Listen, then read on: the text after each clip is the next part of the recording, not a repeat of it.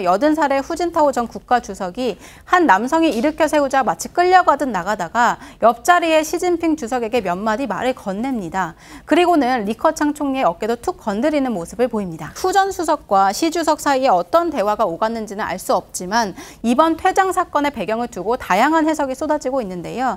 일부에선 이날 1인 체제를 확립한 시진핑 주석이 당 원로의 간섭을 막기 위한 경고 차원에서 자신과 대립각을 세웠던 이른바 공청 청년단, 즉 공산주의 청년단 세력의 보스 후진타오 전 수석, 주석을 강제로 퇴장시킨 거 아니냐 이런 해석이 나오고 있습니다. 반면에 후진타오 전 주석이 시 주석의 장기 집권에 대한 불만을 표현한 거라는 주장도 제기됐습니다.